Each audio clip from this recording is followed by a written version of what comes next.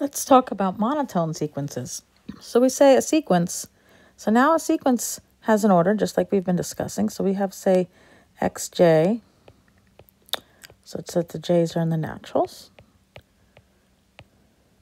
So we have x1, x2, x3, x4, and so on. And we say definition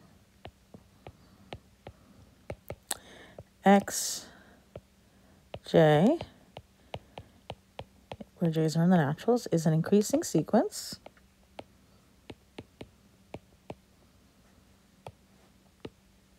Is an increasing sequence. I'll just say is increasing. It's just a little easier. It takes us space. Is increasing.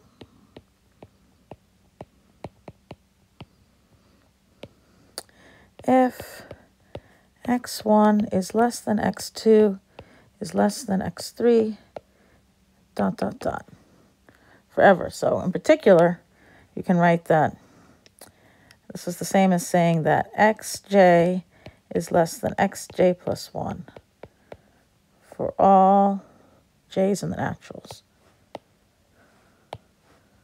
For all j's in the naturals.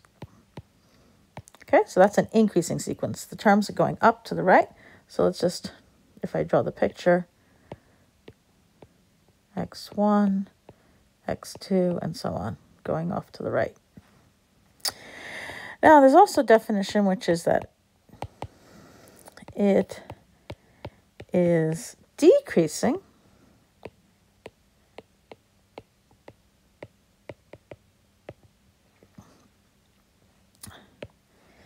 if x1 is bigger than x2, is bigger than x3, and so on.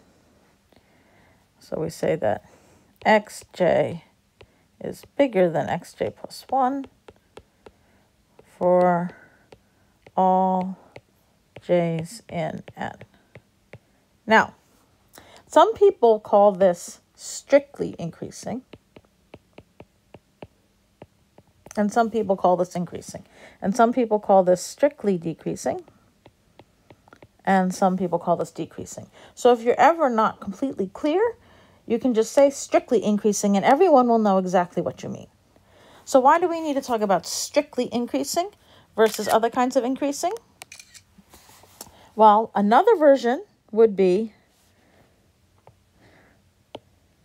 another version of increasing that some people write is that you allow these to be less than or equal signs. And if you do that, some people call this increasing. So you call it not strictly strictly increasing. That's one way you can describe it when you put the inequalities. You can also call it non-decreasing.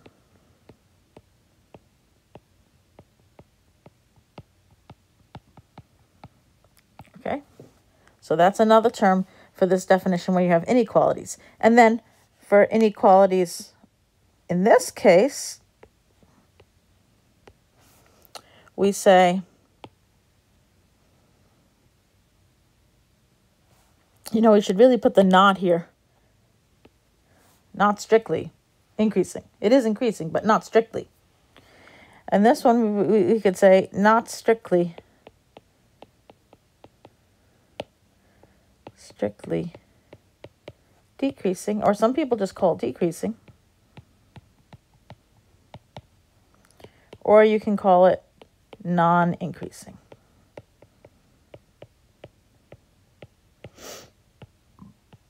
So those are secondary terms.